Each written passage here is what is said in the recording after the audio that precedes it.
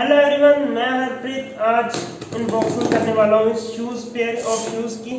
और देखते हैं कैसे है। ये लोटो के शूज़ हैं। ये मैंने ऑर्डर किए थे फ्लिपकार्ट से और ये मुझे पड़े हैं 800 के आसपास। ठीक है 800 से थोड़ा सा ज़्यादा ही है।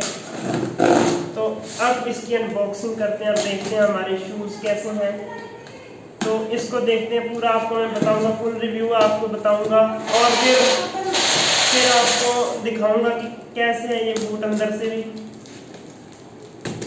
ये, ये मैंने खोल लिए तो ये है इसका डब्बा। डब्बा ओरिजिनल नहीं है। डब्बा ओरिजिनल नहीं है और खून के छिट्टे भी हैं इसमें। तो काफ़ी मुझे पहले तो यही डिसपॉइंटेड लगा।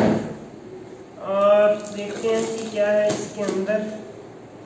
इसके अंदर तो भाई शूज़ ही हैं लोटो के बट यार ये खून के जो धब्बे हैं ये मुझे बिल्कुल ही अच्छे नहीं लगे। तो पैकिंग भी खुली हुई है।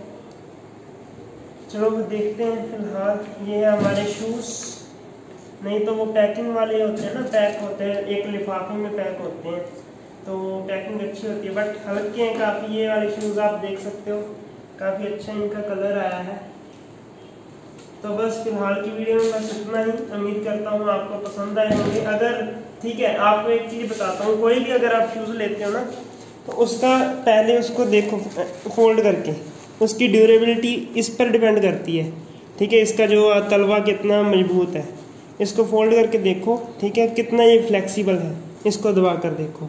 जितना ये वाला पोर्शन हार्ड होएगा ना, जितना ये वाला पोर्शन हार्ड होएगा, उतने बूट की क्वालिटी लो होएगी।